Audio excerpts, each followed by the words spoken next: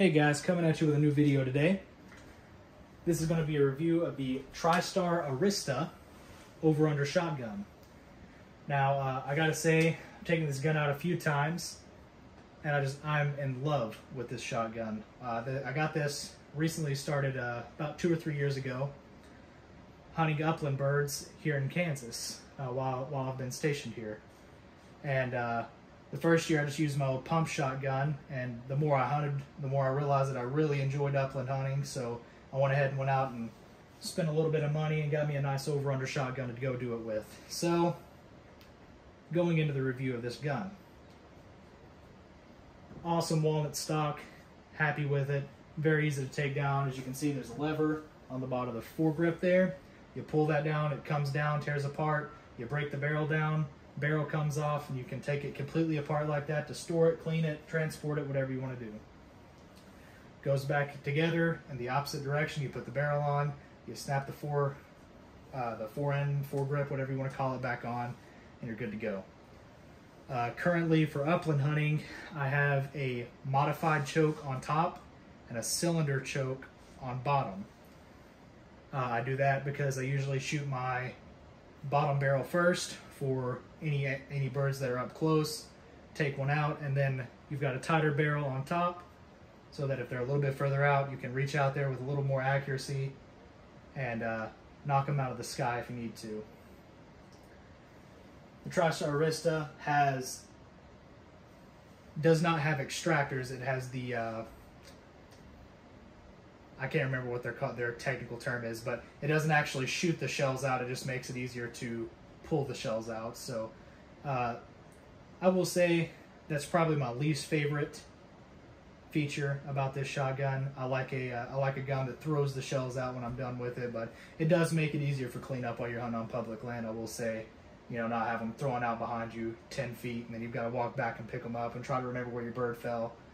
But uh, moving on from that, close it up here, show you guys the safety. This safety here, down is safe, up is ready to go, right? So, if you can see here, off to the left side and the right side, you've got your over and under. So with you, your under barrel is going to shoot first with the first trigger pull because this is a one trigger double barrel. So your first pull is going to shoot your under barrel, your second pull is going to shoot your over barrel.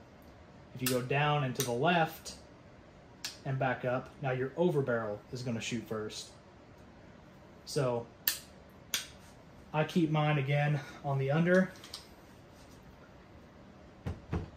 so that my second shot can be accurate. It's got a tighter choke on top, so I'm a little more accurate with it. I've got a little bit tighter choke on top so I can reach out a little bit further.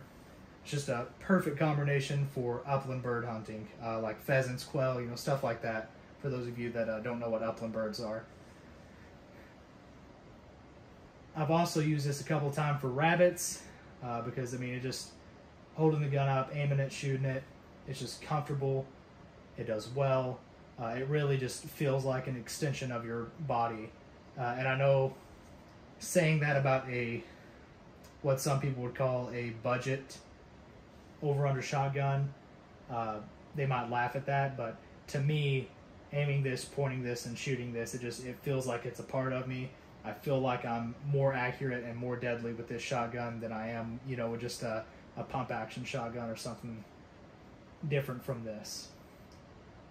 Uh, as you can see, I've already banged up the walnut stock a little bit. That is one thing that I don't love. This stock is very easy to scratch. These scratches came from uh, actually just thorns that were uh, a little bit high up. We were going through some brush trying to get after some quail, and uh, some thorns reached up, scratched my stock up a little bit, but that's all right. Adds a little bit of uh, character to the rifle. This one I got is in 20 gauge, uh, 3 inch chambers. Other than that, there's nothing really else to talk about it. It's a pretty basic shotgun. It's a nice shotgun. I love it. Uh, as you well, there's one more thing that I can talk about before we go here. So, as you can see here, you got this beautiful design on the sides here. There's some like I don't know. I don't believe that this is real gold inlay, but it may be. I don't know. I'd have to look into it. But you just got a nice little gold-looking inlay right through there. Looks really nice on the rifle. Uh, and I will say this: these guns to be mass-produced, they do look really, really good for what they are. Uh, I paid 650 bucks for this one. Pretty good deal for these shotguns. They're usually right around the seven to 750 mark. I got this one on a pretty good deal from Buds. Uh, very happy with the overall just experience with the with the shotgun. It shoots well. It feels good while you're shooting it. It feels good while you're pointing it. It's not too heavy, so whenever you're carrying it out in the field, you don't feel like you're lugging around a 1860 blunderbuss or anything like that. So uh, I hope you guys liked the video.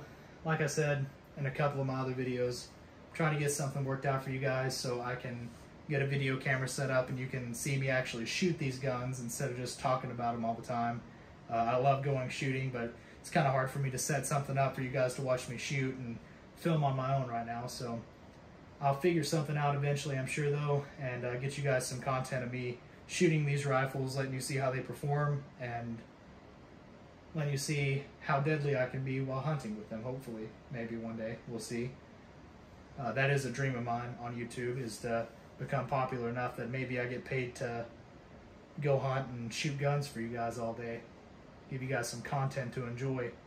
But uh hope you guys enjoyed it. Like, comment, subscribe, and I'll get some more content to you guys.